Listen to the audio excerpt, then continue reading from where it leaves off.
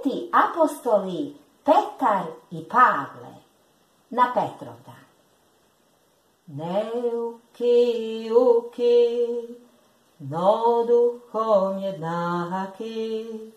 i ljubavlju Božjom,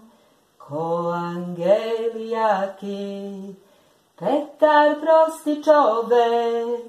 Pavle školovani, blagotač duha, oba oba sjani. No kad vladar sveta zapovesti zade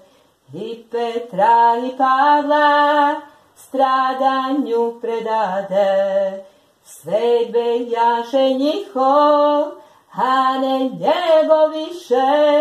apostoli smrću, carstvo zadobiše, dve plamene sveće, sveće ne ugasne, dve blistave zvezde, visoke i krasne, obigraše zemlju i svetlost proneše, sve ljudima daše, ništa ne uzeše,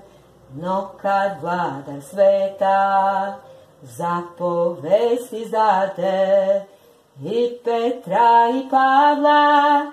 stradanju predade, sve bejaše njihov, a ne njego više, apostoli smrću carstvo zadobiše, siromasi puki, sveto bogatiše,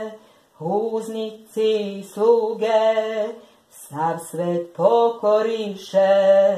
sveto bogatiše, učenjem Hristovim, sav svet pokoriše, oružije novim, no kad vladar sveta zapovesti zade i Petra i Pavla stradanju predade, sve bejaše njihov, a ne njego više, apostoli smrću, carstvo zadobiše, smirenjem i mirom i blagom krotošću, molitvom i postom i silnom milošću,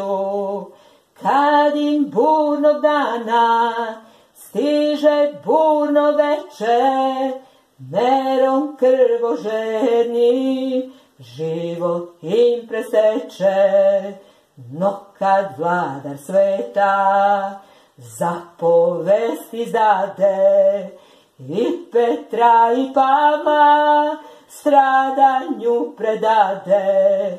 sve bejaše njihov, a ne njego više, apostoli smrću, carstvo zadobiše, apostoli smrću, carstvo zadobiše.